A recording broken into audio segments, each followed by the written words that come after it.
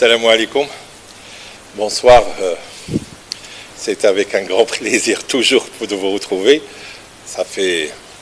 J'espère que vous avez passé de bonnes vacances, que la troisième vague de Covid n'a pas trop fait de dégâts, que vous êtes tous vaccinés parce que maintenant, je vous encourage.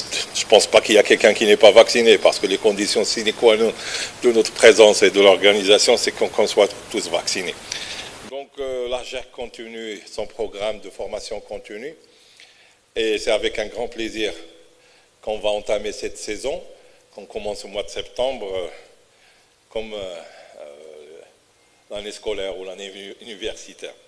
Donc, c'est avec un grand plaisir qu'on va commencer avec le professeur Hakima, que vous connaissez tous, membre de l'AGEC, professeur euh, service de gastroentérologie au CHU Hassan II de Fès. Donc, il va nous parler d'un sujet qui est vraiment intéressant, c'est-à-dire l'hépatite B. Bien sûr, on dit qu'on presque on connaît tout de l'hépatite B, mais il y a toujours quelque chose à connaître et quelque chose à savoir. D'où le titre de cette conférence, donc l'hépatite virale B, quelle nouveauté en 2021. Donc, euh, euh, je sais et on sait tous que euh, la conférence sera très intéressante, comme d'habitude, avec euh, le professeur Hakima. Donc, euh, je vous informe que le programme de la GER pour le trimestre, surtout, donc, comme vous savez, donc, on organise nos journées. On comptait organiser nos journées au mois de septembre, mais vu la situation épidémiologique et le problème de Covid, donc on a re- retardé les journées. Ça sera pour le 12, 13, 14 euh, euh, novembre. En principe, ça sera euh, à Ifrane. Et selon la situation sanitaire et les, décisions que, le gouvernement va prendre. Mais en principe, ça sera au mois, euh, ça sera au mois à Ifrane pour ces dates-là. Le programme, on vous l'annoncera, ça sera comme d'habitude un programme très intéressant et j'espère vous voir à Ifrane et réussir ces journées comme d'habitude. Euh, je dis bonsoir à tous nos, amis, nos consoeurs et nos confrères qui nous suivent sur la chaîne de la GERC sur YouTube. Ça, c'est un, un gain de- et c'est un pari qu'avait fait la, la GERC pour transmettre sur la chaîne YouTube de la GERC. Et comme ça, l'intérêt sur, dans le monde entier, parce que je sais qu'il y a des, des confrères et de consoeurs d'Afrique, du Maghreb, de France même, qui nous suivent.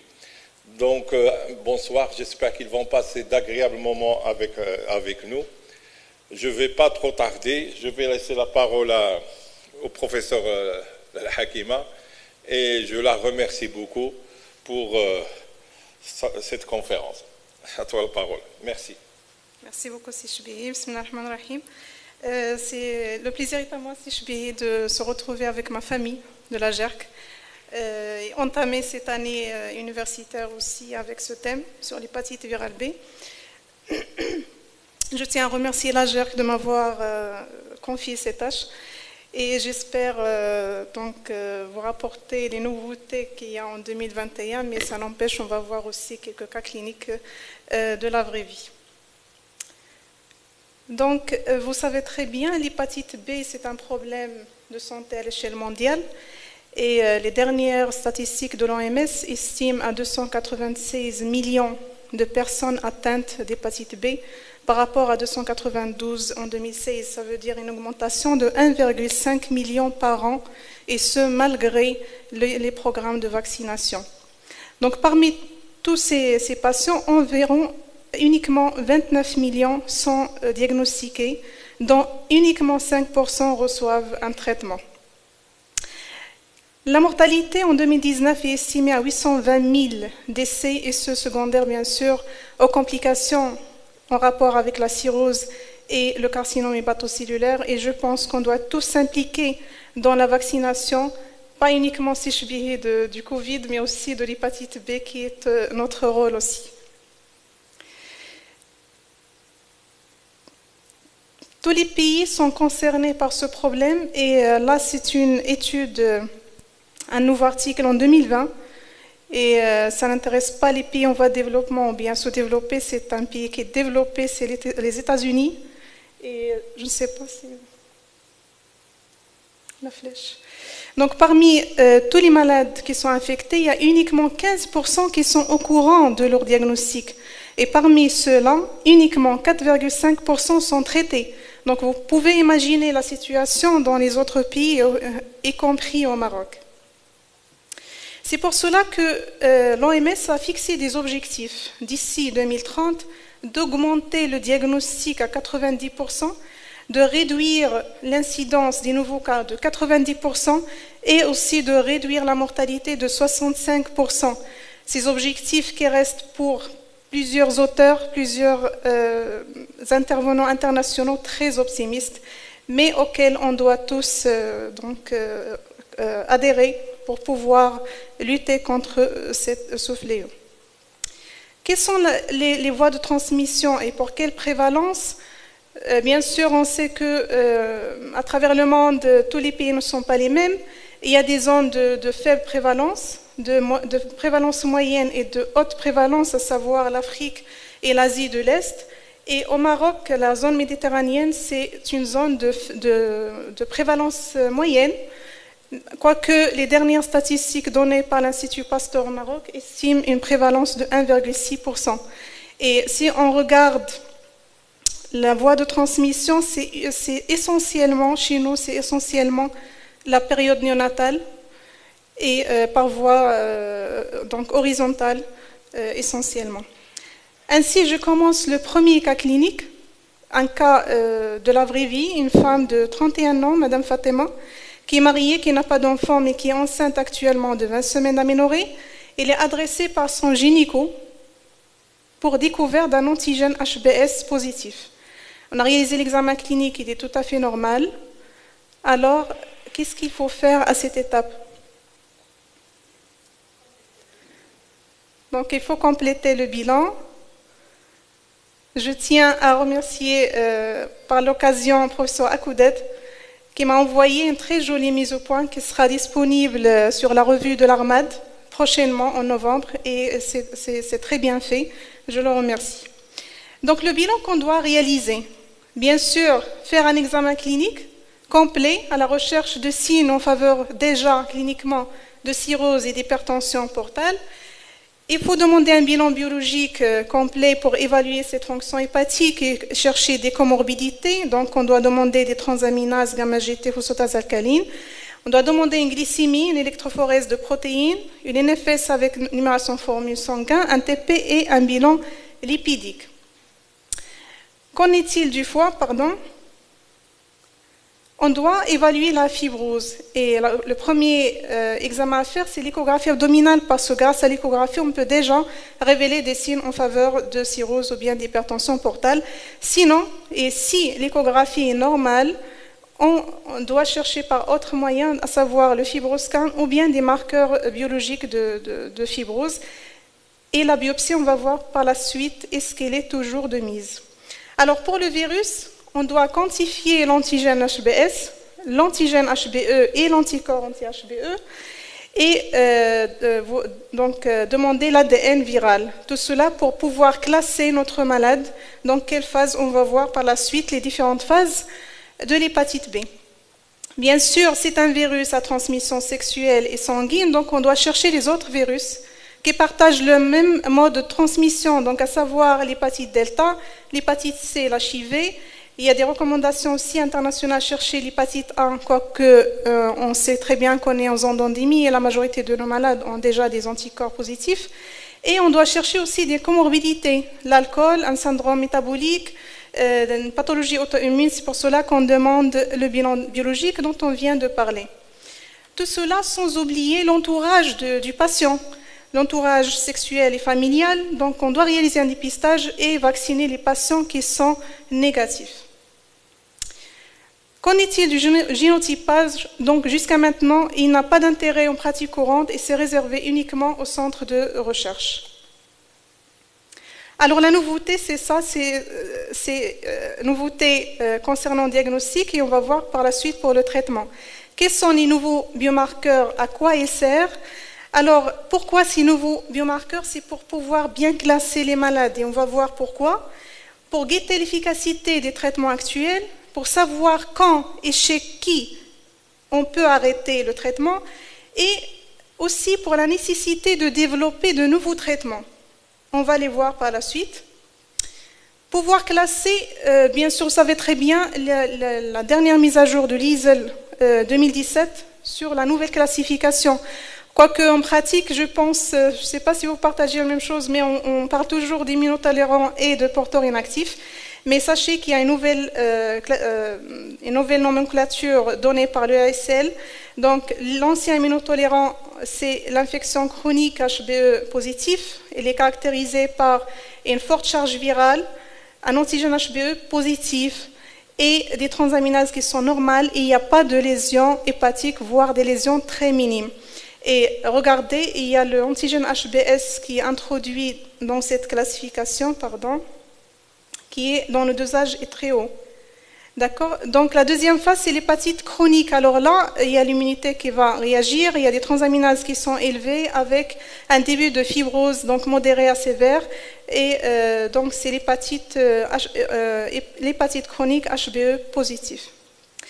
Par la suite, on a la phase 3, c'est l'ancien porteur inactif, donc un faible taux d'antigène HBS euh, un antigène HBE qui est négatif, une charge virale qui est inférieure à 2000, des transaminases qui sont normaux et il n'y a pas de lésion histologique. Sachez que euh, pour cette phase-là d'infection chronique HBE négatif, on peut avoir une charge virale qui est un peu élevée, mais qui reste entre 2000 et 20 000. Et là, on parle de porteurs inactifs à charge virale élevée. C'est des malades qu'on doit euh, surveiller et c'est cette phase qui pose le problème de, diagnostic différentiel avec la quatrième phase justement d'hépatite chronique HBO négatif mais avec une charge virale qui est supérieure à 2000 et des lésions histologiques. La cinquième phase, c'est la phase de résolution de l'infection, donc antigène HBS négatif, HBE négatif, une charge virale qui est très faible, voire indétectable, transaminase normale il n'y a pas de lésion. Pourquoi ces nouveaux marqueurs Parce que jusqu'à maintenant, on arrive à négativer l'ADN viral, voire à négativer l'antigène HBS, mais au niveau du foie, on a toujours cet ADN super enroulé. Et on parle de guérison fonctionnelle. Donc guérison fonctionnelle jusqu'à maintenant avec les traitements qu'on a sous la main. L'objectif de, toutes ces recherches pour avoir ces, nouveaux biomarqueurs, ces nouvelles thérapeutiques en cours, c'est d'avoir une guérison complète. C'est d'éradiquer l'ADN CCC pour pouvoir euh, assurer l'objectif du traitement qui est donc d'améliorer la survie, la mortalité en rapport avec les complications, la cirrhose et le carcinome hépatocellulaire. Alors, je suis désolée, on a à avoir ce, schéma de, physiopathologie, mais ça paraît difficile, mais c'est facile, ne vous inquiétez pas. Donc, une fois le virus introduit dans, le foie, donc il sera internalisé. Euh, pardon, je n'ai pas de pointeur, mais euh, je ne sais pas si vous arrivez à voir le, NTCP, qui est un récepteur euh, aussi partagé par les cellules biliaires. Et une fois en intracytoplasmique, le virus va euh, se débarrasser de son enveloppe. Donc l'enveloppe, c'est l'antigène HBS. Par la suite, il va introduire euh, le noyau cellulaire. Et c'est là où l'ADN enroulé, euh, relâché, va donner naissance à cet ADN super enroulé, l'ADN CCC. Donc à partir de cet ADN, il y aura bien sûr la, la formation d'ARN messager, que ce soit pour la, pré-génomique, pour le génome, le, matériel euh, génomique du virus, que, pour les protéines de, de capsid, l'antigène HBC et l'antigène HBE, et bien sûr les protéines d'enveloppe. Alors, par la suite, ces ARN vont rejoindre le cytoplasme et, l'ARN prégénomique va être donc euh, encapsidé à l'intérieur de la capside cellulaire Puis par la suite, transformation de l'ARN en ADN viral qui va rejoindre, euh, qui va être donc enveloppé et par la suite le virion va quitter la cellule hépatique. C'est tout ce qu'il fait le virus il, se réplique en intrahépatocytaire, il quitte et un, nouveau cycle se, reproduit. Ce n'est pas le virus qui induit des lésions. Alors, euh, je disais que le virus se reproduit en intracellulaire, puis il quitte, il quitte euh, l'hépatocyte et n'entraîne aucune lésion. Qu'est-ce qui entraîne les lésions? C'est l'immunité. D'accord? C'est le fait qu'il y a une réaction immunitaire qui fait qu'il y a des lésions cellulaires, une dégradation des hépatocytes, une, cytolyse, etc. Et c'est pour cela qu'on parle, par exemple, d'immunotolérant. Immunotolérant, ça veut dire qu'il y a une charge virale qui est très élevée, importante, mais il n'y a pas de cytolyse il n'y a pas de, de lésions cellulaires. Parce qu'il n'y a pas, c'est un immunotolérant, une immunité qui tolère ce virus qui est en intracellulaire. Alors, les traitements qui sont disponibles jusqu'à maintenant, euh, l'objectif? Par exemple, les analogues, ils inhibent cette reverse transcriptase qui euh, donc retranscrit l'ARN messager en ADN. C'est tout. C'est pour cela que sous traitement, on arrive à négativer l'ADN, mais vous savez très bien qu'il y a des malades qui gardent l'antigène HBS. C'est pour cela, donc, l'antigène HBS, il n'est pas dépendant uniquement de l'ADN CCC, mais il est dépendant aussi de l'ADN qui est intégré en intragénomique. D'accord? Donc c'est pour cela, en, comprenant ce cycle cellulaire, qu'on arrive à, comprendre euh, pourquoi ces nouveaux biomarqueurs et pourquoi et comment on a arrivé à avoir ces nouveaux traitements qui sont en cours euh, d'études et d'évaluation. Donc si on veut avoir euh, cet ADN super enroulé, normalement, logiquement, on doit aller faire une biopsie hépatique et faire les dosages. Donc vous imaginez que ce n'est pas possible, on ne peut pas à chaque fois aller faire une biopsie hépatique au patient, c'est un examen qui est invasif et ce n'est pas de pratique. Donc c'est pour cela qu'on a cherché des marqueurs biologiques qui vont refléter l'activité de cet ADN, CCC et de l'ADN intégré en intragénomique. C'est pour cela qu'on a euh, la quantification de l'antigène HBS qui est un ancien marqueur. On peut aussi doser euh, l'HBCR antigène, on va voir c'est quoi on, peut quantifier l'anticorps anti-HBC, on peut doser l'ARN circulant. Donc, pour l'antigène HBS, c'est très ancien, vous le savez très bien, mais la nouveauté, euh, on va le voir, c'est les tests euh, qui sont donc capables de, détecter à partir d'un seuil très, on parle de tests ultra sensibles qui peuvent détecter l'antigène HBS à partir de 0,05 unités par ml, voire plus. Et comme je vous avais dit tout à l'heure, donc l'antigène HBS, il n'est pas corrélé uniquement à l'ADN CCC, mais à l'ADN CCC et à l'ADN intégré. D'accord? Donc la corrélation avec l'ADN CCC, elle est faible. Et là, je voulais vous montrer, euh, c'est euh, un bilan d'un malade qu'on vient de voir lundi, chez qui on a demandé la quantification de l'antigène HBS. Et si vous, je ne sais pas si vous arrivez à voir, le seuil de détection, c'est 0,05. Ce qui veut dire que lorsqu'on reçoit un malade, par exemple, qui a une hépatite B occulte, un antigène HBC, un, euh, un anticorps anti-HBC positif, avec un antigène HBS négatif, alors ce n'est pas vrai. Parce que il est négatif parce que le seuil de détection de l'appareil qu'on a actuellement, c'est 0,05. Mais il y a des appareils plus des tests ultra sensibles qui peuvent détecter à des taux très très faibles.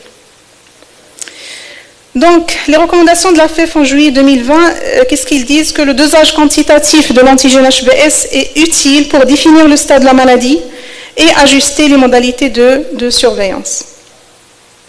Le deuxième marqueur, c'est l'HBC donc hepatitis B correlated antigen, qui, qui, euh, qui reflète trois molécules, l'antigène HBE, l'antigène HBC et la protéine P222CR.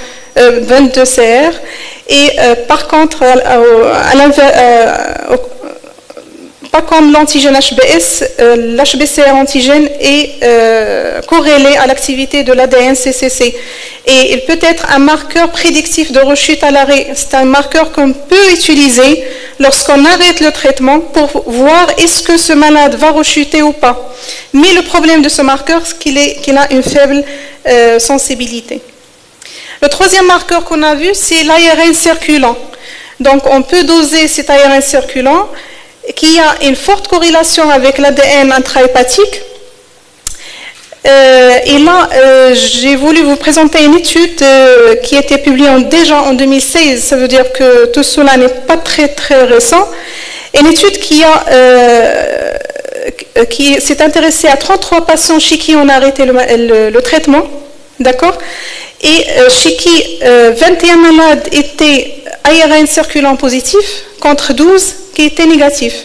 Alors tous les malades qui étaient ARN circulant positif ont rechuté. D'accord Alors que les 12 patients qui étaient ARN positifs, uniquement 3 patients ont rechuté. Donc vous voyez l'intérêt de, ces biomarqueurs euh, dans, la, vraie vie. Le problème de, cet ARN circulant, c'est qu'il a été... Euh, étudiés sur plusieurs, dans plusieurs études, se sont intéressés à ce biomarqueur, mais avec des résultats différents. Pourquoi? Parce qu'on ne sait pas, euh, dans toutes les études, qu'est-ce qu'on a dosé. Est-ce que c'est l'ARN prégénomique? Est-ce que c'est l'ARN euh, qui, euh, qui code pour les, protéines de surface ou bien les protéines de capside De, capside, ce pas les mêmes résultats pour toutes les études. On peut aussi quantifier l'anticorps anti-HBC, c'est le, quatrième marqueur, et l'anticorps, ça veut dire on peut c'est un indicateur de, la réponse immunitaire. Quelle place pour ces nouveaux marqueurs Pour le moment, euh, ils ne sont pas recommandés en dehors, bien sûr, des, programmes de recherche. Donc, jusqu'à maintenant, il n'y a pas d'intérêt. A pas d'intérêt, mais probablement dans le futur, on aura à doser ces marqueurs. Maintenant, comment on évalue la sévérité de l'atteinte hépatique? Première chose, c'est l'examen clinique, bien sûr c'est le bilan biologique de base, bilan hépatique, la numération formule sanguine pour voir est-ce qu'il y a une thrombopénie, un TP, pour voir est-ce qu'il y a un TP qui est bas, qui oriente déjà euh, à une cirrhose. Il faut faire l'échographie, ce qu'on a dit tout à l'heure, pour voir est-ce qu'il y a des signes indirects de cirrhose et d'hypertension portale.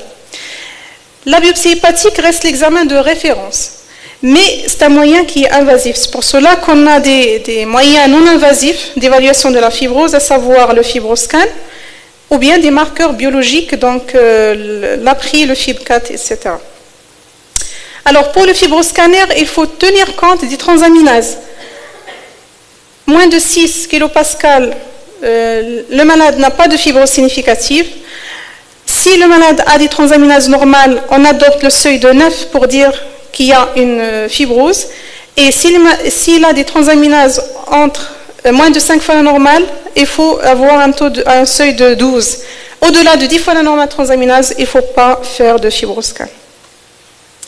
La biopsie hépatique, comme on a dit, c'est l'examen de référence pour l'évaluation de, de, la fibrose.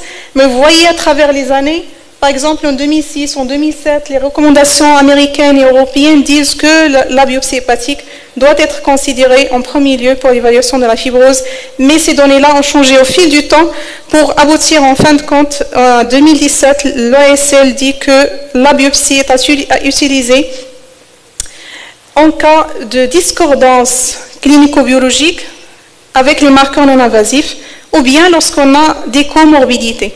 C'est la seule indication, sinon on peut se fier aux examens non invasifs. Alors maintenant, revenons à notre patiente. Rappelez-vous, c'est une jeune qui est enceinte 20 semaines d'aménorrhée et qui a un antigène HBS positif. On a réalisé le bilan dont on, a parlé, donc des transaminases normales, ALAT à 25, AZAT à 30, hémoglobine à 11,6, des blancs normaux, des plaquettes normaux, un TP à 95%. Il a un antigène HBE négatif, anticorps positif, une charge virale à 2400, soit 4 log. Les autres sérologies euh, négatives, une électrophorèse de protéines normales, une glycémie à jeun à 0,75, l'échographie abdominale est revenue sans anomalie et euh, l'élasticité estimée à 5,4 au fibroscan. On a aussi quantifié l'antigène HBS, il est à 850. Donc, il s'agit de quelle phase?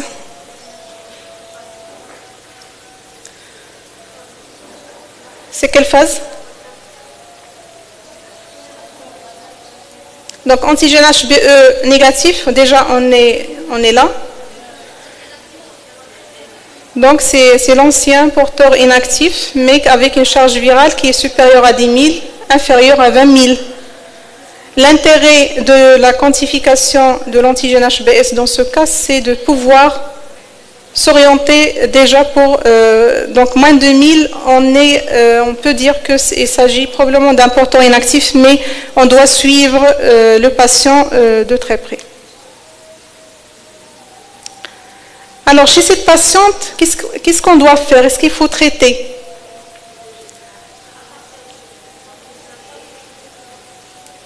Quels sont les objectifs de traitement? On va voir par la suite. C'est bien sûr la réponse biochimique, c'est la normalisation des transaminases, la réponse virologique, la réponse sérologique et bien sûr l'amélioration histologique, tout pour pouvoir améliorer la morbimortalité liée au virus. Et plus on traite précocement, plus on arrive à achever ces, objectifs. Quelles sont les indications de traitement chez un patient porteur d'une hépatite B? Bien sûr, lorsqu'on a des transaminases supérieures à la normale, avec une ADN supérieure à 2000 et ou une activité ou une fibrose à l'histologie. Lorsqu'on a des transaminases supérieures à deux, fois la normale avec une ADN supérieure à 20 000, c'est une indication d'emblée à traiter. On n'a pas à se baser sur l'évaluation de la fibrose, tout en sachant que bien sûr il faut évaluer la fibrose pour pouvoir euh, donner la suite Est-ce que c'est un malade qui est cirrhotique qu'on doit euh, dépister par la suite? Est-ce qu'on peut arrêter ou on, ne peut pas arrêter? Donc c'est important. Mais déjà l'indication de traitement sur ces deux critères, elle est là. Si on a un patient qui est euh, compensé ou décompensé, c'est un patient qu'il faut traiter. Reste la phase d'infection chronique HBE positif ou bien l'ancien immunotolérant, on le traite s'il est âgé de plus de 30 ans et le porteur inactif, l'infection chronique HBE négatif, on le traite si histoire familiale de CHC ou de cirrhose, ou bien si on a des manifestations extra-hépatiques. J'ouvre juste une parenthèse pour parler des transaminases normales, ce n'est pas la même chose dans les recommandations européennes et américaines. Donc actuellement, les, Américains disent que les transaminases normales, c'est moins de 25 chez la femme, moins de 35 chez l'homme. Ce n'est pas la même chose. Les Européens, c'est la limite euh, donc supérieure du, laboratoire. La particularité de notre patiente, c'est qu'elle est enceinte. C'est vrai, elle a un profil de, de porteur inactif, mais euh, ce n'est pas la même chose. Donc, euh, chez la femme enceinte, il faut euh, dépister, il faut demander l'antigène HBS à partir du premier trimestre. Il faut traiter les femmes enceintes qui ont une fibrose hépatique avancée ou bien une cirrhose par le ténofovir. Les patientes qui sont déjà connues porteuses d'hépatite B, qui sont sous traitement, il faut les switcher vers tenofovir parce que c'est lui qui est validé, qui est autorisé chez la femme enceinte. Et les patientes qui ont une charge virale au-delà de 200 000 ou bien un antigène HBS qui est supérieur à 4 log, et je pense qu'on oublie ça, on s'intéresse toujours à l'ADN viral, il faut demander la quantification de l'antigène HBS parce que vous pouvez avoir une indication de traitement sur ça. Donc si on a cela, on doit traiter le patient par ténofovir, à la patiente pardon, par ténofovir à partir de 24 à 28 semaines et qu'on doit garder jusqu'à 3 mois après l'accouchement. Sauf si, indication bien sûr, sauf si l'indication de l'hépatite B à traiter est là. Et l'allaitement, dans tous les cas, il est autorisé. S'il vous plaît, il y a toujours des médecins qui arrêtent, surtout les gynécos, ils arrêtent, ils interdisent l'allaitement, alors que non, il n'est pas contre-indiqué, même chez les patientes qui ne sont pas sous traitement.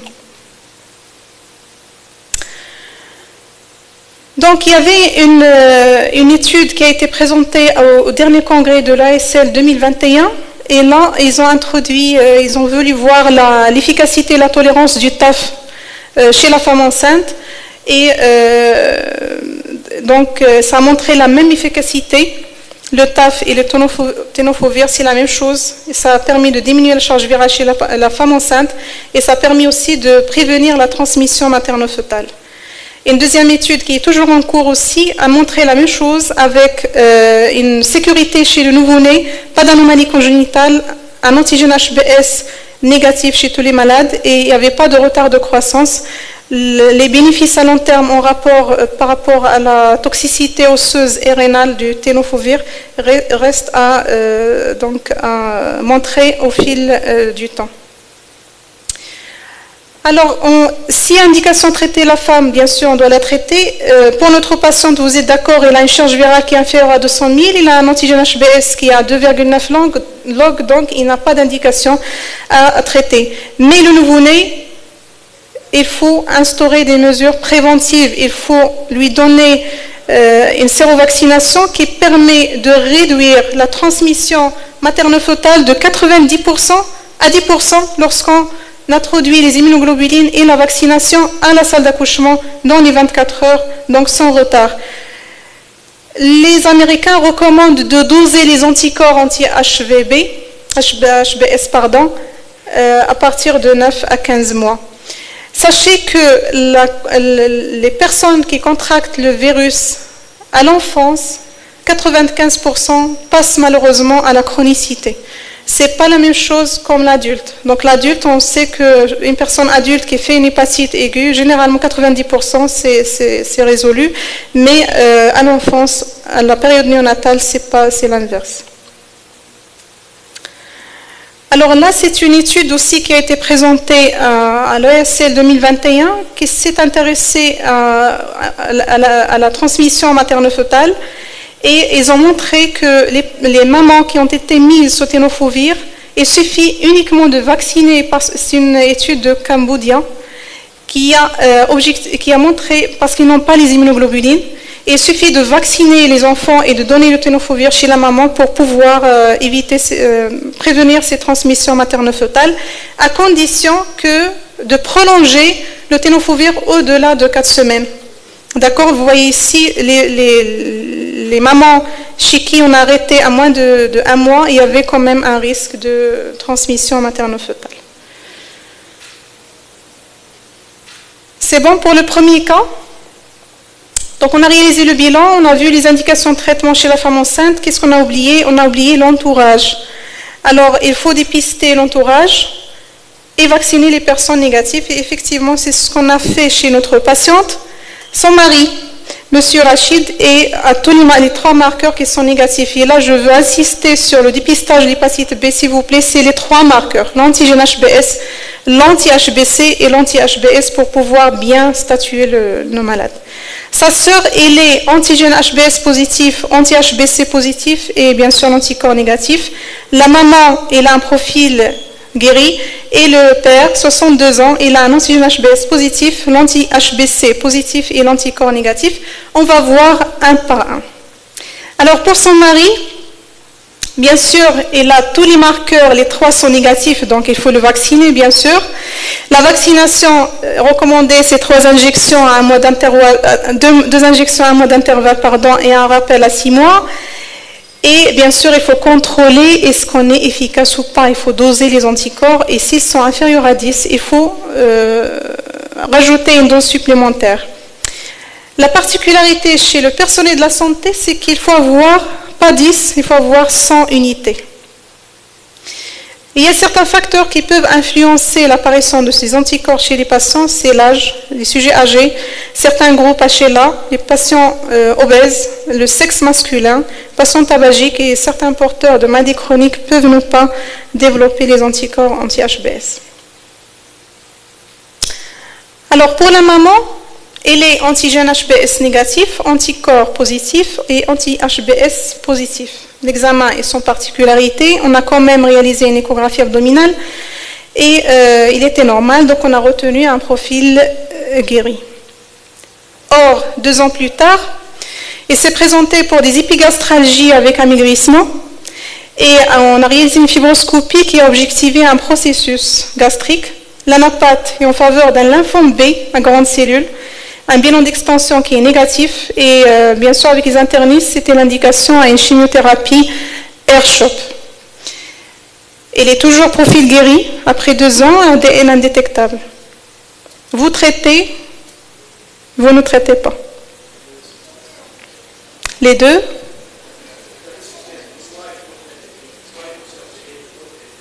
Alors cette patiente, Il y a un risque de réactivation. Faible? Faible risque? Faible risque? Au risque? Elle a un profil guéri.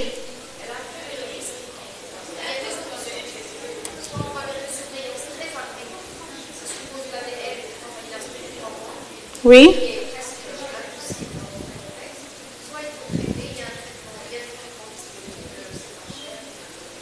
Donc on va voir. Alors la définition de la réactivation virale. Donc chez les patients qui sont antigènes HBS positifs et anti-HBC positifs, avec un ADN positif, c'est quand on a une augmentation de la charge virale au-delà de 2 log. On parle de réactivation. Si l'ADN est négatif, c'est lorsqu'on a un ADN supérieur à 1000. Et si on ne sait pas le statut ADN à l'admission du patient, si on a un ADN supérieur à 10 000, c'est une réactivation virale. Pour les patients qui ont un anti-HBS positif, c'est lorsqu'on a une réapparition de l'antigène HBS ou bien de l'ADN viral, on parle de réactivation, et bien sûr, sur plan biologique, c'est l'augmentation des transaminases. Comment évaluer le risque? C'est ça.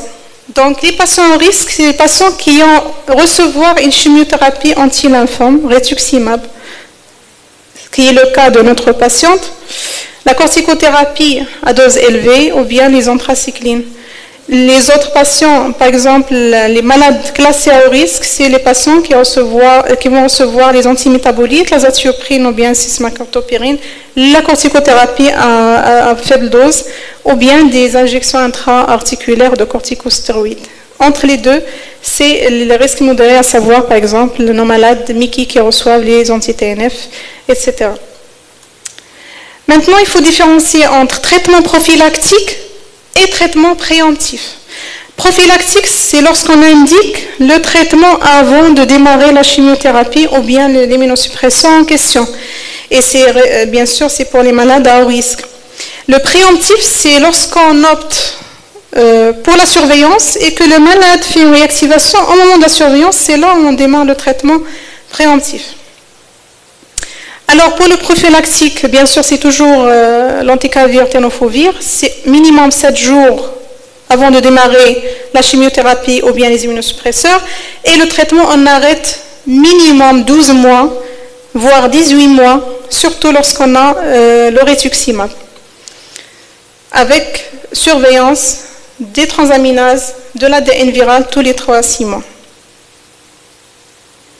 Pour le préemptif, comme on vient de voir, c'est au moment de, c'est sous, euh, sous traitement qu'on a cette réactivation et qu'on démarre le traitement. Maintenant, les recommandations européennes disent que pour tout patient qui va recevoir une chimiothérapie ou un immunosuppresseur, il doit être testé pour l'hépatite B. Et tous les patients HBS positifs doivent recevoir un traitement ou bien une prophylaxie par les analogues. Les patients antigènes HBS négatifs mais anti-HBC positifs doivent recevoir la, prophylaxie si, euh, dans ce cas, donc ça serait le traitement préemptif en cas de réactivation. Et notez bien qu'il n'y a pas, euh, mentionné l'anti-HBS. D'accord? Donc à chaque fois que vous avez l'anti-HBC positif, que l'anticorps HBS soit positif ou non, c'est la même chose. Alors, si on veut faire un arbre décisionnel, vous avez une sérologie complète chez un patient qui va recevoir une chimiothérapie ou bien euh, un immunosuppresseur. Le premier cas de figure, c'est les deux marqueurs sont négatifs. Alors là, il n'y a pas de traitement, mais il faut vacciner les malades. Chose qu'on oublie euh, souvent en pratique. Si l'antigène HBS est positif, il faut démarrer le traitement. D'accord? C'est le tenofovir anticavir 12 à 18 mois avec surveillance clinico-biologique et sérologique. Si l'antigène HBS est négatif et que l'anticorps est positif, avec une ADN positif, c'est le cas de l'hépatite B occulte, alors là, une fois l'ADN positif, il faut traiter. Si par contre l'ADN est négatif, c'est là où on voit les, on évalue le risque. Est-ce que le malade est au risque Par exemple, il, va recevoir, comme notre patiente, la AirShop, alors là, il faut traiter. Et si le malade a risque de réactivation faible ou intermédiaire, alors là, on peut surveiller. On peut surveiller sous condition que le malade adhère au protocole de surveillance. C'est les transaminases, c'est l'ADN et c'est l'antigène HBS. N'attendez pas à ce que les transaminases soient élevées. Une fois que vous avez une séroconversion HBS qui était négatif et qui devient positif, c'est une réactivation, il faut démarrer le traitement. Alors pour notre patiente, on est là, elle est antigène HBS négatif, anticorps positif, ADN négatif, mais elle est à risque parce qu'elle va recevoir de la chimiothérapie avec de la, du rituximab. Troisième cas, c'est la sœur. Est HPS positif, anti-HBC positif, transaminase normale, NFS correct, TP correct, euh, antigène HBE négatif, anticorps positif, et viral à 1800 avec une, 3,25 log d'unité, toutes les autres sérologies négatives, euh, le PP normal, fibroscan, pas de, fibrose, et la quantification HBS à 630. Donc, euh, profil qui fait probablement très probablement un porteur inactif ou bien une infection chronique HBE négatif. Donc, surveillance. Le problème, c'est qu'elle est sage-femme.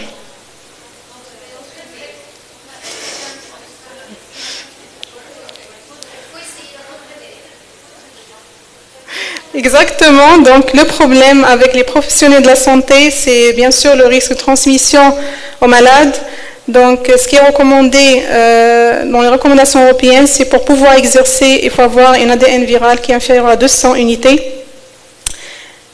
Euh, on insiste sur le dépistage chez tous les personnels de la santé, la vaccination avec les trois doses, avec vérification des anticorps. Et là, c'est, pardon, on doit avoir 100, unités d'anticorps.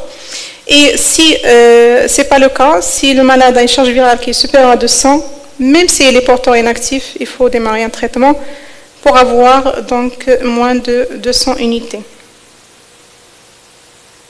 Je vous ai rapporté ici une enquête sur le terrain, une, étude qu'on vient de réaliser, au CHU. Je remercie Dr Rachid Jim qui a fait un bon travail.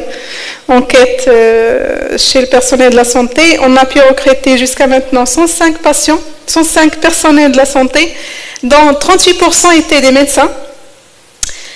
Et on était vraiment euh, déçus parce que 73% uniquement qui sont vaccinés et pas tous ont reçu les trois, doses de vaccin, ce qui est, mm, on va dire, euh, c'est pas normal.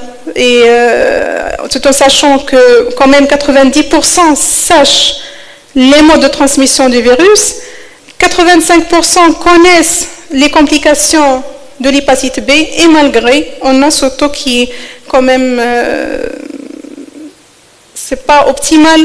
Et euh, parmi les raisons, la, la, raison principale de la non-vaccination, c'est la peur de la sclérose en plaques. Alors, euh, actuellement, quels sont les traitements disponibles? Vous savez très bien. Donc, euh, le premier en liste euh, au fil des années, c'est l'interférent. Par la suite, c'est les analogues, l'amividine, adifovir, anticavir, telbuvidine et dernièrement tenofovir en 2008. Mais les deux qui sont recommandés actuellement, c'est l'anticavir et le tenofovir. Et bien sûr, le TAF qu'on n'a pas encore au Maroc. Comment choisir donc entre les PEG qui sort quand même dans l'AIC 2017 et les analogues. Le PEG, on sait très bien qu'il c'est un bon immunomodulateur et qui permet de diminuer cet ADN CCC, mais au prix de, beaucoup d'effets secondaires. Les analogues ils sont bien tolérés euh, et permettent euh, de, diminuer l'ADN euh, viral, mais c'est des traitements au long cours chez les patients, voire à vie. Les études qui ont montré, bien sûr, euh, pourquoi euh, ténofovir et anticavir, parce qu'on n'a pas de résistance. Ce n'est pas comme les premiers euh, analogues, l'amividine, adifovir et telbuvidine. Donc actuellement, le traitement de choix, c'est les analogues. C'est l'anticavir, ténofovir et TAF en monothérapie. Les autres analogues ne sont plus recommandés. Bien sûr, il faut savoir la définition de la réponse sous traitement. Donc un patient qui répond sous analogue, c'est un patient qui a un ADN inférieur à 10. La non-réponse euh, primaire, c'est quand euh, l'ADN ne diminue pas plus d'un à trois mois. les patients qui ont une réponse partielle, c'est des patients dont l'ADN diminue de plus d'un log, mais qui restent toujours positifs à 12 mois du traitement. Et l'échappement thérapeutique, c'est quand l'ADN diminue, mais il augmente euh, d'un seul coup à plus de 1 log par rapport à la valeur la plus basse qu'on a atteint. Bien sûr, la réponse sérologique, c'est la perte de l'antigène HBS et le développement de l'anti-HBS, c'est la perte de l'antigène HBE quand on a un HBE positif et euh, l'apparition des anti-HBE. Bien sûr, la réponse biochimique, c'est la normalisation des transaminases et histologiquement, c'est l'amélioration des lésions nécrotico-inflammatoires. C'est ce qu'on vient de voir. Donc pour le TAF et le tonofovir, le TAF euh, c'est un analogue qui permet, euh, qui n'a pas d'effet secondaire euh, osseux et, rénaux. C'est pour cela que c'est recommandé actuellement, surtout chez des personnes particulières, on va voir chez, chez qui. Et cette étude qui a montré chez les patients HPE positifs et HBE négatifs que le TAF et le tonofovir, ils ont la même efficacité à 48 et à 86 semaines, mais au prix euh, pour le, le tenofovir d'une euh, chute du débit de filtration glomérulaire et de l'aggravation de la densité osseuse euh, chez les patients. Les facteurs qui sont associés à un risque rénal, c'est lorsqu'on a une cirrhose décompensée, Lorsqu'on a d'emblée un débit de filtration glomérulaire qui est inférieur à 60, et on va voir par la suite que les patients qu'on a mis sous analogue, il faut surveiller la créatinine et le débit de filtration glomérulaire. Les patients qui ont une hypertension artérielle mal contrôlée et un diabète déséquilibré, vous savez très bien que c'est aussi des facteurs de risque d'aggravation de la fonction rénale. Une glomérulonéphrite active, les transplantés d'organes et les patients qui, prennent des médicaments néphrotoxiques. Alors là, je ne sors pas comme facteur euh, de risque d'aggravation de la fonction rénale. Alors, les recommandations européennes disent que chez les patients de plus de 60 ans qui ont une atteinte osseuse, à savoir une prise de corticoïdes au long cours, ou bien d'autres médicaments qui altèrent euh, la densité osseuse, des antécédents de fragilité ou de, de fracture, d'ostéoporose, ou bien chez les patients qui ont déjà une fonction rénale qui est altérée. Chez ces patients-là, il faut préférer soit l'anticavir, soit le TAF. Mais euh, je ne sais pas en pratique qu'est-ce que vous faites? Je pense que pour l'âge surtout, on n'a pas toujours à faire ce choix entre les deux.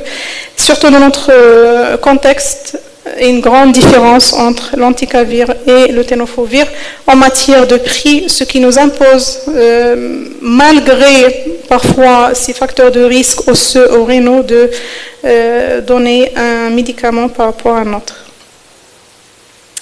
Alors, comment surveiller les malades sous analogues Bien sûr, euh, surveillance des transaminases de l'ADN viral de façon périodique, surveillance de la fonction rénale, on va voir comment la créatinine et le début de filtration glomérulaire, et à chaque fois qu'on a un patient qui a une atteinte euh, rénale ou osseuse, il faut switcher du ténofovir vers anticavir ou euh, le TAF. Alors le rythme, c'est ça. Déjà, la première chose sur laquelle il faut insister, c'est d'évaluer l'observance et d'éduquer le malade sur la gravité d'être mal observant au traitement avec les risques de réactivation et de mortalité. Et je pense que service, on, se rappelle du dernier patient qu'on a reçu, qui a arrêté le traitement sérotique décompensé et qui est malheureusement euh, décédé. Alors, la surveillance biologique, c'est l'ADN et transaminase tous les trois mois, euh, pendant la première année surtout, par la suite en espace. Une fois l'ADN est négatif, il faut voir, doser, euh, voir l'antigène HBS. Et une fois l'antigène HBS est négatif, il faut voir est-ce que le malade a développé les anti-HBS. La surveillance de la fonction rénale, systématiquement pour tous les malades, sous ténofovir surtout, et c'est la clairance la créatinine tous les trois mois, la première année, puis tous les six mois si est normal. Et la phosphatémie, il faut aussi la, mesurer et euh, espacer une fois normal. Euh, j'aimerais bien ouvrir une, parenthèse pour l'hypophosphorémie.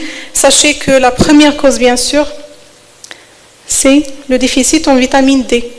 Donc, euh, devant un patient qui a une phosphorémie qui est basse, il faut traiter, il faut donner de la vitamine D pour euh, améliorer la phosphorémie. Lorsqu'on a une insuffisance rénale, il faut adapter les doses. Donc, pour les ténophovirs, au-delà de 50 ml par minute, on peut garder la même dose.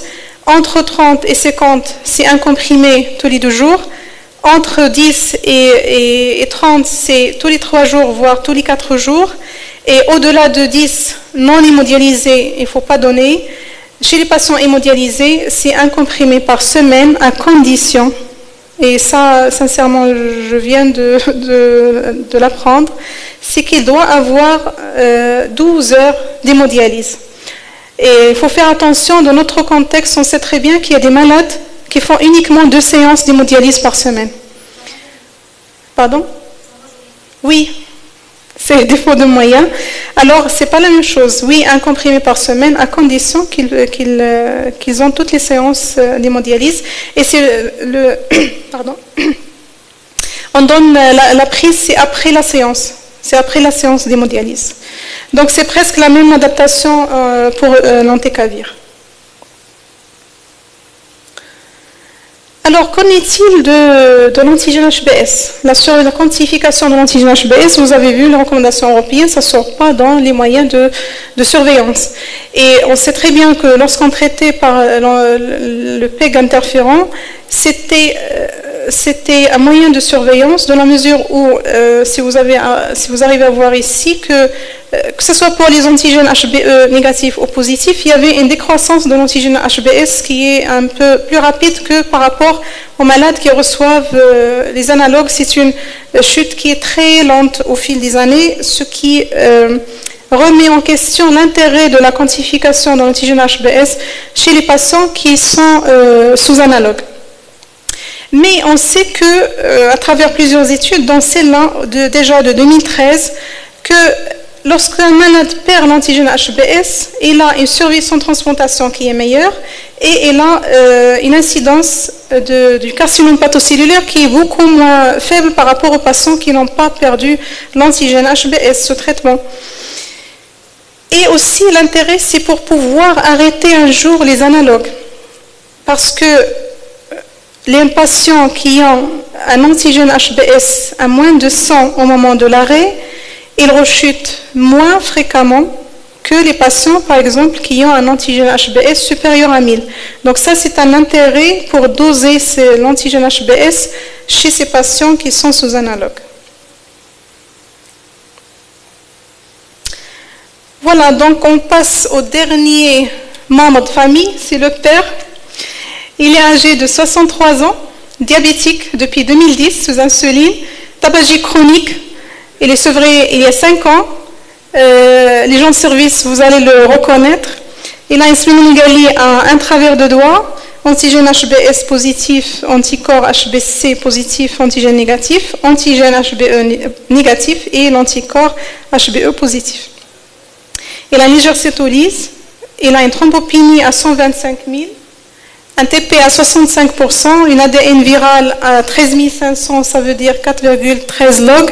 Les autres sérologies sont négatives, à savoir le delta, l'HIV l'hépatite C.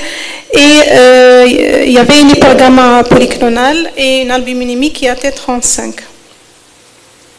On a réalisé une échographie abdominale, c'est un foie qui est totalement dysmorphique, très hétérogène, contour irrégulier, il n'y avait pas de lésion, le transport était dilaté à 16, pardon, c'est pas 19, et il y avait une sphénomégalie à 16 cm homogène, il n'y avait pas d'acide. On a réalisé une fibroscopie, il y a des variés stade, stade 2. Donc, en conclusion, notre patient est déjà cirrhotique compensé Child A? Donc, il faut le traiter. Effectivement, on l'a traité, on l'a mis sur ténophovir et on a instauré une prophylaxie euh, pour l'hémorragie digestive sur rupture des varices œsophagiennes. Il est perdu pendant 4 ans.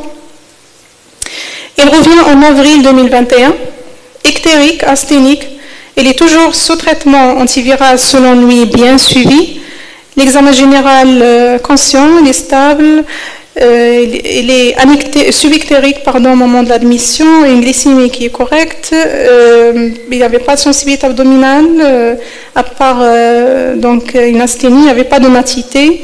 Et le bilan biologique a révélé une cytolyse à la normale et GOT et une cholestase des gamma-GT à 21 fois la normale, des phosphatases alcalines à 2,5 fois la normale, un TP à 62%, et la charge virale, elle est indétectable. Donc le patient il, nous assure qu'il est bien suivi, euh, bien observant pour le traitement et euh, ça concorde avec les résultats de la charge virale. Alors qu'est-ce qu'il peut faire à votre avis? Le bilan d'auto-immunité euh, était négatif. Syndrome métabolique, oui, mais à 21 fois normal gamma GT, c'est un peu beaucoup. Exactement, donc on a réalisé une imagerie, une échographie, un enjeu TDM, on a cherché une dilatation, une greffe de CHC, euh, des thromboses et rien.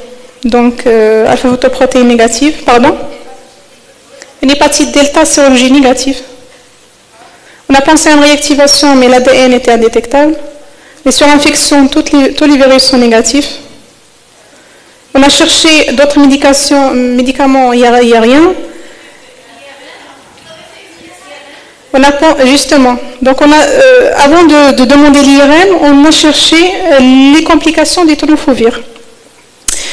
On a euh, réalisé une recherche sur l'Ivertox et qu'est-ce qu'on a trouvé? Que le tenofovir peut donner une cytolyse hépatique mais euh, le profil de cette cytolyse, c'est trois profils. Soit que euh, la, cytolyse euh, apparaît dans les premiers jours du traitement, ce qui n'est pas le cas. Notre patient il y a 4 ans de traitement. Soit que il survient après arrêt, mauvaise observance, donc un échappement thérapeutique, ou bien en association avec d'autres médicaments, chose qu'on n'a pas. Donc on s'est dit probablement c'est pas le et on allait demander une IRM pour rechercher une maladie cholestatique sous-jacente. Donc en insistant, il a enfin avoué, alors qu'on lui a demandé à plusieurs reprises, qu'il est éthylique. Donc, euh, et effectivement, si vous avez remarqué le bilan, il avait une macrocytose à 99 avec des GT qui étaient élevés. Et euh, voilà, donc il faut toujours faire attention à chercher euh, les comorbidités, l'alcoolisme, l'hépatite auto-immune, syndrome métabolique, etc., qui peuvent expliquer euh, la perturbation bilan hépatique chez nos malades. Donc actuellement, le dernier contrôle chez lui, c'était en août 2021. Il est sevré de l'alcool. Il est sous traitement, bien suivi. Euh, il n'a plus de, cholestase. Et euh, bien sûr, on surveille sa fonction rénale, sa phosphorémie, etc., avec une charge virale qui est indétectable. Alors là, il nous demande, euh, docteur, quand est-ce que je peux arrêter le ténofovir?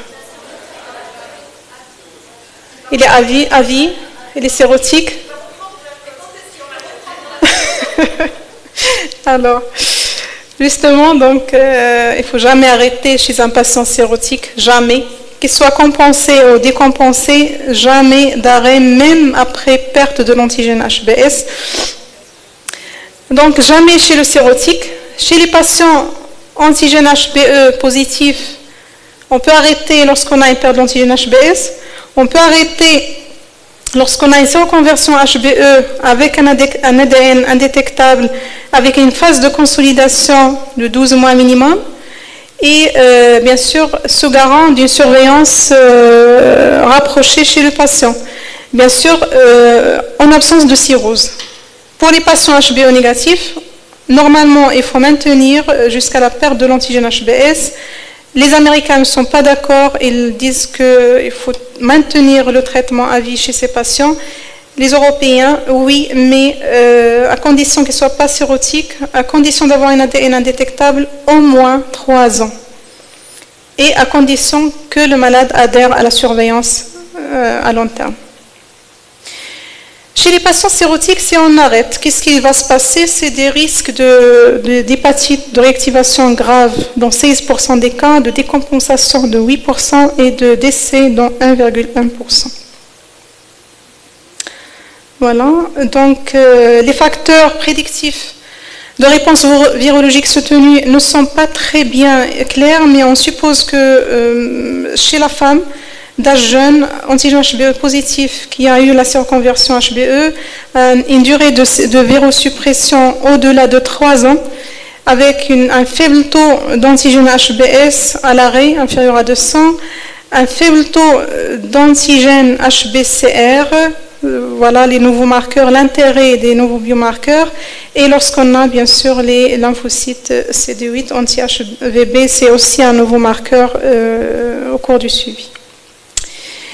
Cette étude a été présentée euh, à l'ESL 2021. Il a comparé l'évolution à long terme chez les malades qui ont été traités par anticavir par rapport aux patients traités par ténofovir. Et qu'est-ce qu'ils ont remarqué Que chez tous les malades, le pourcentage de perte dans l'antigène HBS, c'est uniquement 6,8%.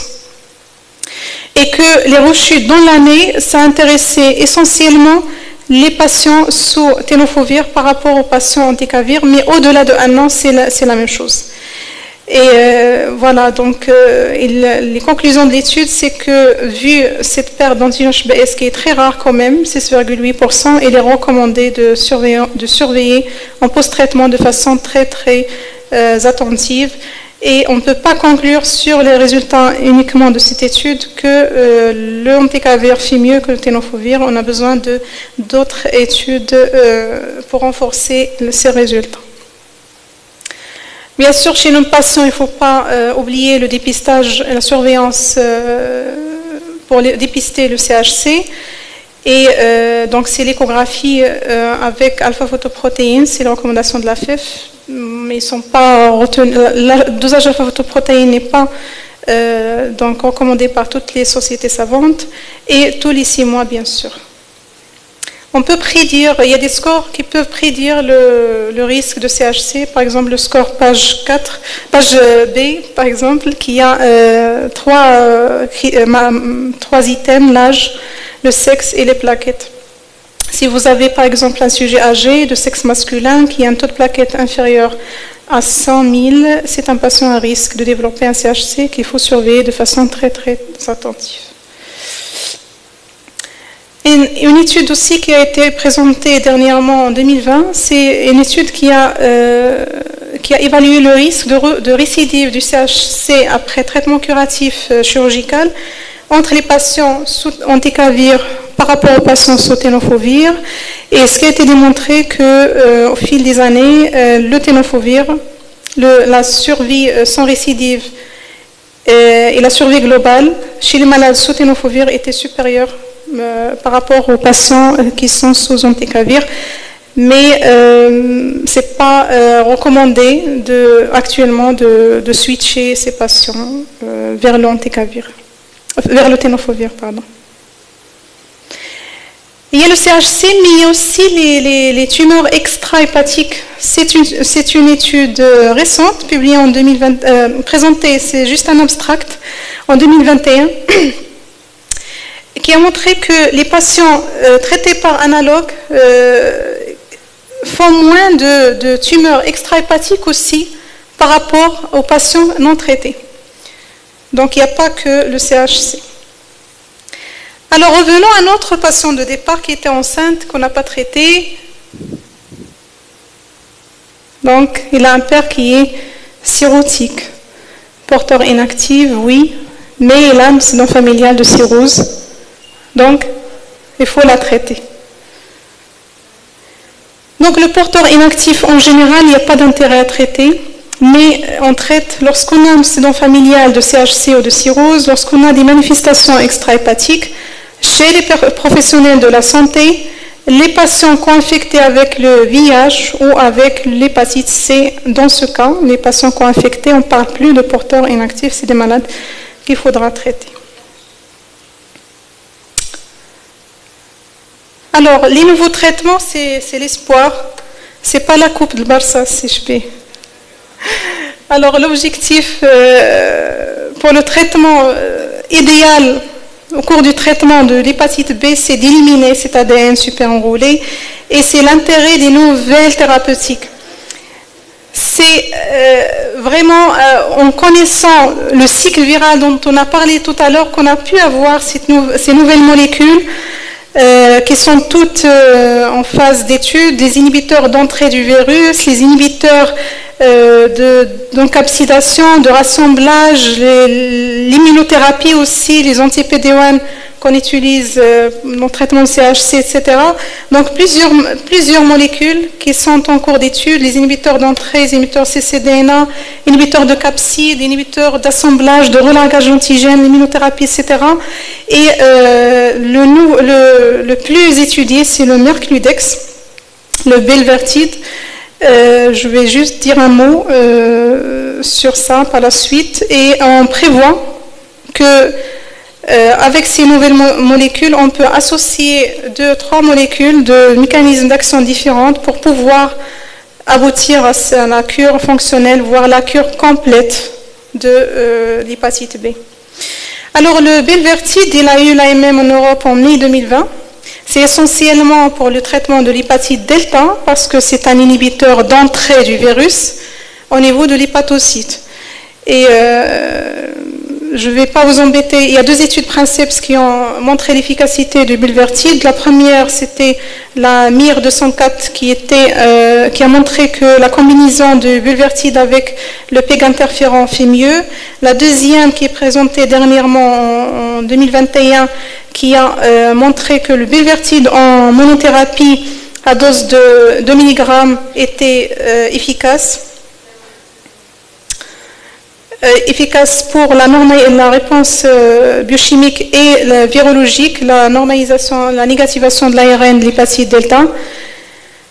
Mais les gens sont allés plus loin.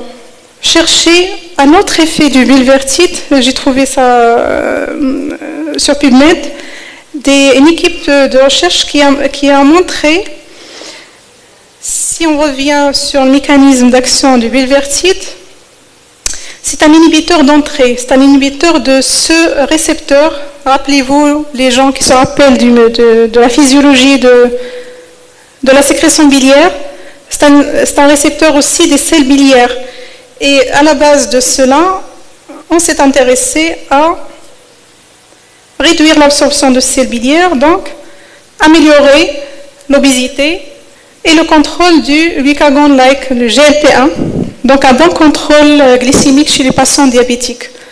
En attendant, il faut faire de l'exercice physique, bien manger, en attendant les résultats. Et voilà, je vous remercie.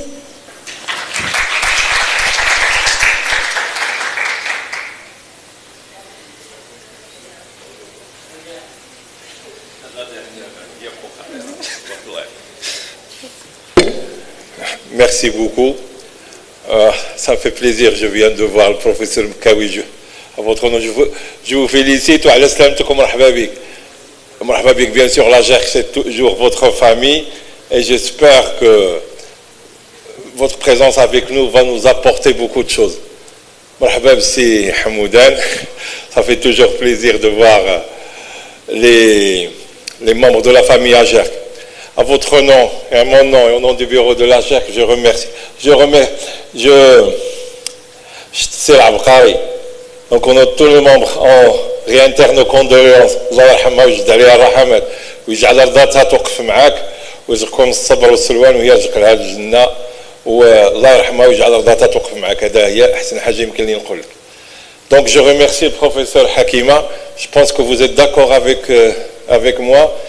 Donc on la félicite et on le remercie pour son brillant exposé. Je pense qu'elle a éclairé nos lanternes sur l'hépatite B.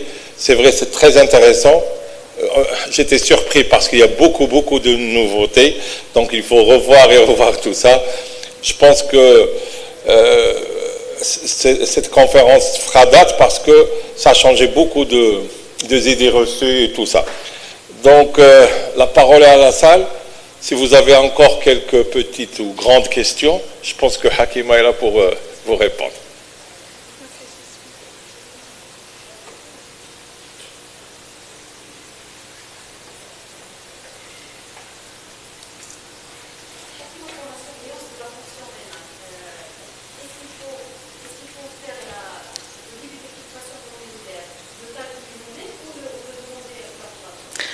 Alors, ce qu'on fait nous, on le fait nous-mêmes en consultation, mais vous pouvez très bien demander au laboratoire pour le faire, mais ça ne demande pas. euh, c'est facile en consultation. Je voudrais euh, juste euh, réitérer sur la quantification d'hygiène HBS. Il faut vraiment insister auprès des laboratoires parce que parfois on demande quantification d'hygiène HBS et nous répondent juste par l'examen qualitatif. Il faut demander, préciser quantification de l'antigène HBS et entre parenthèses en unité et en log euh, d'unité. Oui?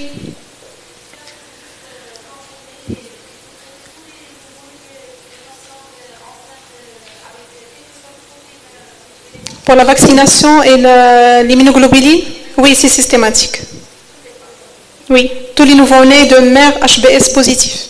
Quel que soit le statut de la maman et quel que soit euh, qu'il qu'il reçoit ou pas le traitement. Oui.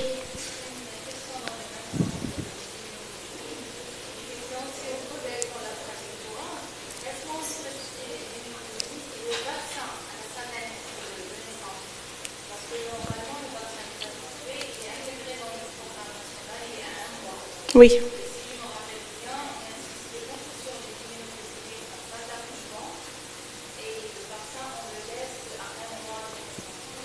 Si alors, ce qu'on fait, ce qu'on fait en pratique, c'est vraiment, on passe beaucoup de temps à expliquer à la maman l'intérêt d'avoir la vaccination et les immunoglobulines qui sont disponibles au Maroc et euh, de prendre contact avant l'accouchement avec le pédiatre. Et on arrive à avoir la vaccination et on insiste, euh, le prochain contrôle après l'accouchement, on lui demande est-ce que le bébé a reçu deux injections dans les deux fesses? Et il confirme. Il faut juste communiquer avec les, la patiente et son mari aussi, l'impliquer dans, dans la prise en charge. oui. Le schéma rapide. Alors le schéma rapide, c'est réservé, euh, par exemple, chez les nouveau-nés euh, prématurés, chez les patients qui vont recevoir euh, des immunosuppresseurs et une chimiothérapie, mais généralement, c'est deux injections à mois d'intervalle avec un rappel à six mois.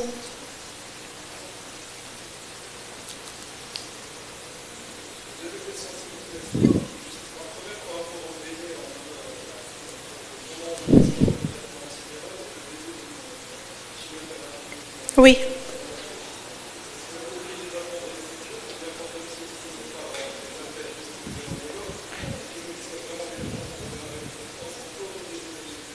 Alors no- normalement, c'est euh, comme on vient d'exposer, c'est minimum 7 jours, mais parfois on est justement, on est sollicité par les, surtout par les, internistes ou bien les oncologues, et ils disent que euh, parfois il y a des situations urgentes à démarrer le traitement, et on dit que minimum démarrer le même jour avec la chimiothérapie ou bien l'immunosuppresseur, mais pas après.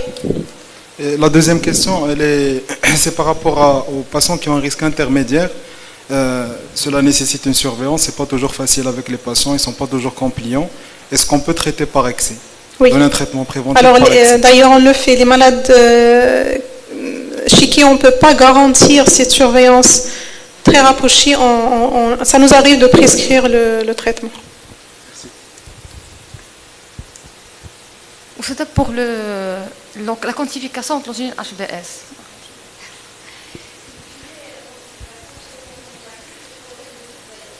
Oui. Oui.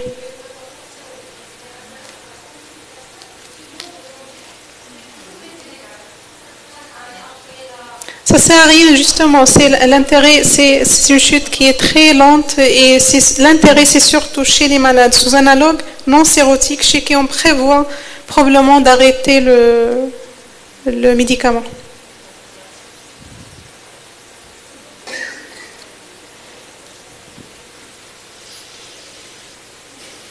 Merci beaucoup. euh, merci CHB.